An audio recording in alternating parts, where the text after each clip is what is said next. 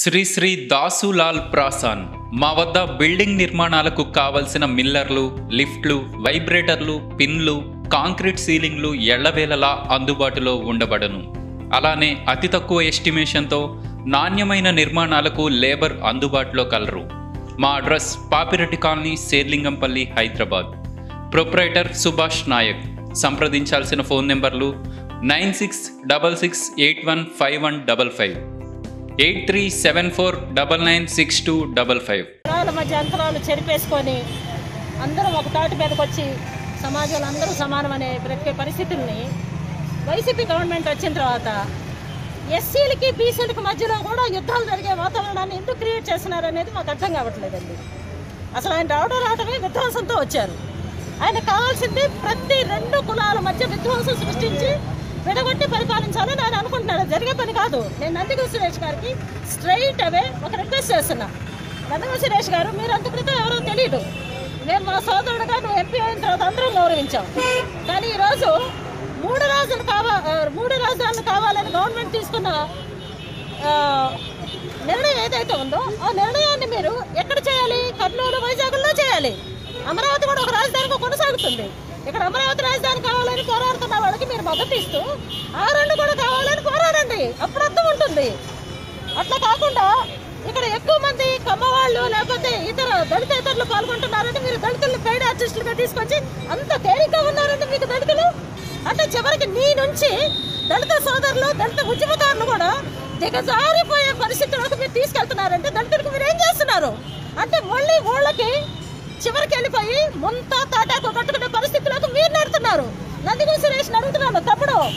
నువ్వు ఎంపీ అయినందుకు మా సంతోషం? కానీ నువ్వు బ్రతుకు బ్రతికించు. అంతేగాని నీ వలన కొంతమంది దళితులు దళారులుగా తయారయ్యి మీ చేతుల్లో బానిసలుగా తయారయ్యి మళ్ళీ తిరిగి పక్క కులాల మీద కేసులు పెట్టే పరిస్థితులు మీరు కనిపిస్తున్నారు అంటే మీకు రాజకీయమా? లేకపోతే జగన్ బినామీ నాటకాల్లో ఒక పాత్రదారులుగా ఉన్నారా అని నేను అడుగుతా ఉన్నాను. శ్రీదేవి గారిని అడుగుతా ఉన్నాను ఈ రోజు లేదా అండి?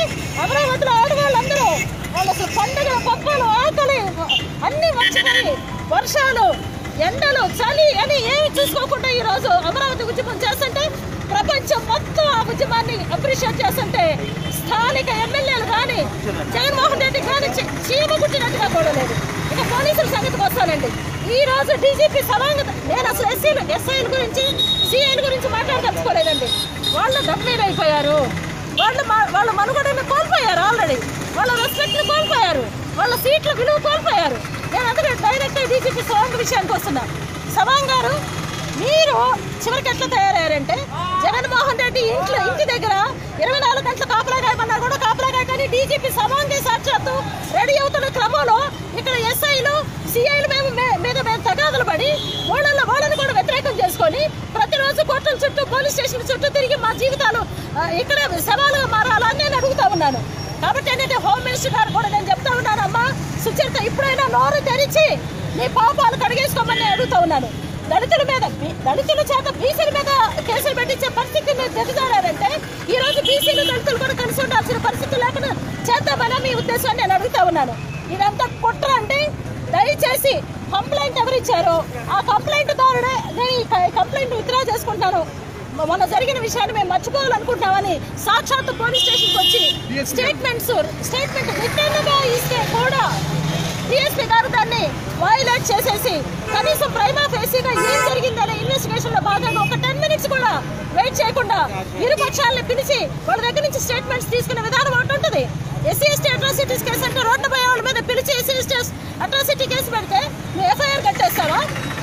Is there is no any kind of procedure investigation ఏముండదా? ప్రతి ఎఫ్ఐఆర్ ముందు ప్రైమా ఏసీగా ఏం జరిగింది ఏంటి అనే రిపోర్ట్ తీసుకునే ఆ- ఇది కూడా మీరు తీసుకోవట్లేదంటే మీరు ప్రభుత్వానికి కొమ్ము కాస్తున్నారు తప్ప మీరు ఏజెంట్గా పనిచేస్తున్నారు తప్ప మీరు బానిసలుగా పనిచేస్తున్నారు తప్ప మీరు వెన్నెముక లేకుండా పనిచేస్తున్నారు తప్ప మొత్తం పోలీస్ వ్యవస్థనే ఈ రోజు పరిస్థితి మీకు మీరే క- కల్పించుకుంటారని నేను తెలియజేసుకుంటూ మేమైతే ఉద్యమం ఆపమండి. మూడు రాజధానులు కావాలనుకున్న వాళ్ళు ఇక్కడ కాదు ఉద్యమం చేయాల్సిందే. కర్నూలులో చేయాలి వైజాగ్లో చేయాలి. వద్ద హెల్లీ ఈస్ హియర్ నేను అంటున్నానంటే ఈ ఉన్మాద పరిస్థితి నుంచి ప్రజలు ఎప్పుడు బయటపడతారు? దయచేసి ఆలోచించమని నేను ప్రత్యేకంగా దళిత సామాజిక వర్గ సోదరులకి మన మీద మనమే యుద్ధం చేసుకునే పరిస్థితులు ఎందుకు తెచ్చుకుంటున్నారు? మనందరూ కలిసి అయితే గీత అప్పర్ కమ్యూనిటీస్ మీద ఉద్యమాలు చేసి ఇప్పుడిప్పుడే సమాజంలో మనకు కూడా సమాన ప్రాతిపది ప్రాతినిధ్యం అన్నింటిలోనూ కావాలని ప్రయాణం చేసినటువంటి మనం ఈరోజు బీసీలతో తగాదు పడి ఊర్లో ప్రతి వీధి వీధికి గొడవలు పడే పరిస్థితుల్ని జగన్మోహన్ రెడ్డి ఎంకరేజ్ చేస్తుంటే మీరు దానికి తలవంచడం అనేది ఎంతవరకు కరెక్టో దత్త సోదరుని నేను దయచేసి ప్రాధాన్యపడి అడుగుతూ ఉన్నాను. ఆలోచించమని. మీరు ఎవరి ట్రాప్లో పడొద్దని నేను దయచేసి మనవి చేసుకుంటా ఉన్నాను. కాబట్టి ఈరోజు ఎస్సీ అంటే ఎస్సీ ఎస్టీ అట్రాసిటీస్ ప్రివెన్షన్ యాక్ట్ను పెట్టేసేసి వాళ్ళు డబ్బులు తీసుకొని చక్కగా అందరినీ బెదిరించి బతుకుతారనే సీన్ క్రియేట్ చేసేసింది జగన్మోహన్ రెడ్డి గవర్నమెంట్ బట్ దళిత దళిత్స్ అంటే they are simple for self respect వాళ్ళు బాబాసాహెబ్ అంబేద్కర్ వారసులు.